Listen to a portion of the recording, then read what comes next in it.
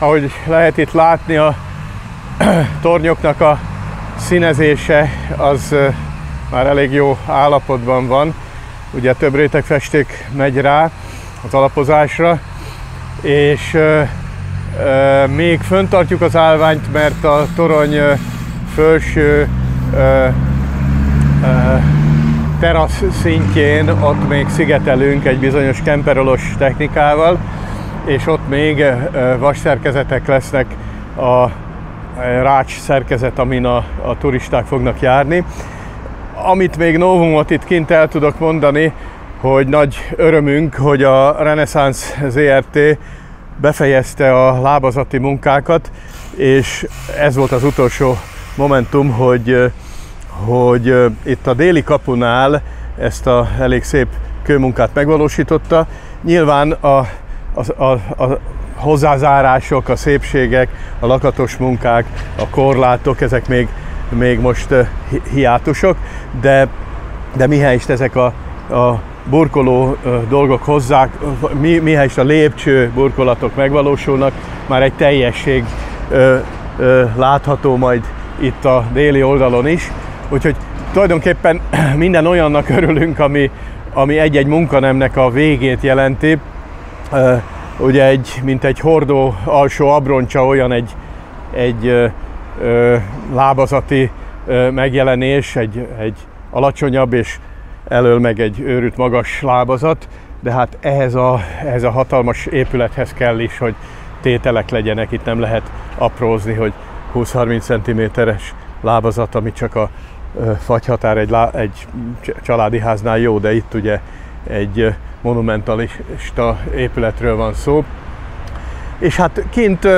olyan sok újdonságról nem tudok beszámolni, én szerintem menjünk be az épületbe, ott viszont elég sok olyan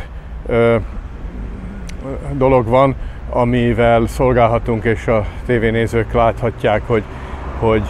hogy áll most a belső tér. A szentély körül látjuk, hogy elindultak a bútorozások, hát a két hatalmas tallum,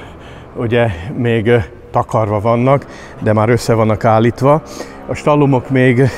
mintha díszeiktől meg lennének fosztva, itt még a kőrestaurátor fogja felöltöztetni a régi díszeivel különböző füzérek és különböző ö, ö, díszítések lesznek, aranydíszítések, és ott fönt ö, a hatalmas ö, sas majd tartja a régi, de felújított ö, fémrestaurátor által felújított lámpát. És ez ugye szimmetrikusan megismétlődik. Itt föl van állványozva a két ö, szobor, ugye a kőrestaurátorok ö, még a, a, a két szoborral, a két angyal szoborral foglalkoznak, és hát reménység szerint az attribútumokat is majd megkapják. Ugye az egyik angyal az igazságosság, a másik a, a, a tulajdonképpen szimbolikus szobrokról van szó, és a, így az attribútumok a fákja, és a, a fény, és a, és a mérleg, amit itt megkapnak. Látszik, hogy a főoltár mellett a két Cassagrande féle angyal kis imádkozó szobor is, ami még le van takarva, még vár magára, és a tabernákulumnak az aranyozása még egy fő szempont. Ott valaha nem volt fölötte lámpa, ott a Szentlélek ábrázolás dísze marad majd újra. Tehát valamikor ráaplikáltak szerintem a két háború közt ezt a lámpát, mert elég szép de ardekós vagy szecis, szecessziós szépség, de látszik, hogy betakar, főleg ha egy búrát teszünk rá, akkor betakar a Szentlélek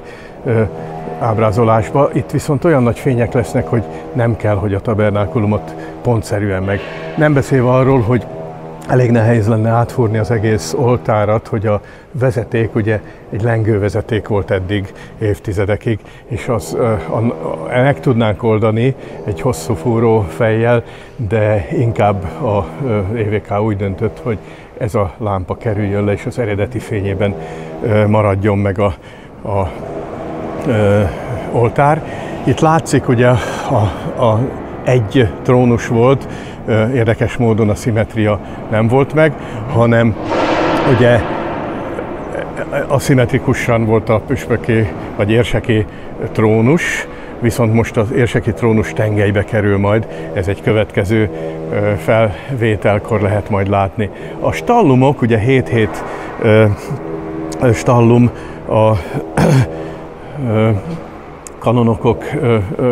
nagy szentmiséken, nagy asszisztenciák esetén,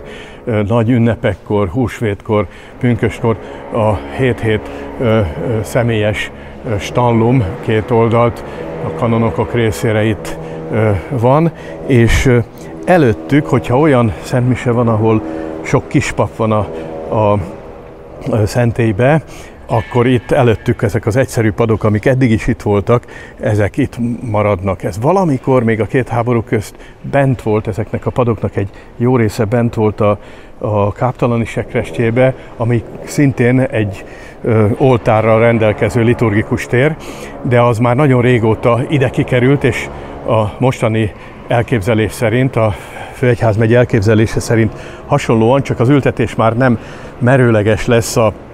a hossz tengelyre, hanem párhuzamosan, hogy a látvány, a főoltár és a megújult oltárkép jobban diadalmaskodhasson. Ha előre megyünk a majdani szembemiséző oltárhoz, ott ugye már megvan a, a podest, amire kerül rá, én láttam, hát Barász Tibor szobrászművész készíti, aki a két angyalt is elől a portikusnál gyönyörűen megfaragta. Ő készíti a díszeit ennek az oltárnak, ezek a a, látszik, hogy ott már a gyengáram és erős áram vezetékek várják az oltárat. Ugye ezen a podesten aszimmetrikusan a hívek felé lesz tolva a, a szembemiséző oltár, hiszen itt mögötte áll majd, ha nagy asszisztenciával szentmisét, liturgiát tart érsekfőpásztor. És a szószék az, ami 120 éve Nagy Virgil tervei alapján megvalósult, és ennek a díszeihez igazítottuk mi terv szerint a, a szembemiséző oltárat, és ugyanebből a kőből, Brács szigetéről Pucsiscséből, a Pucsisei bányából hozattuk a követ, és ez a kő egy egységet fog képviselni, hogy a 120 évvel ezelőtti bányából, nyilván egy másik rétegből, tehát nem pont az a szín lesz, de ugyanaz a kő, a Szembemisé Zoltár, és ott látszik, hogy az ambó, a felolvasó állványnál is állnak ki a vezetékek, hiszen a hangosítás vezetékei, hogy ne ö, legyen lengővezeték, és így ez a három dolog, az egy régi és a két új, egy kő minőséget fog alkotni.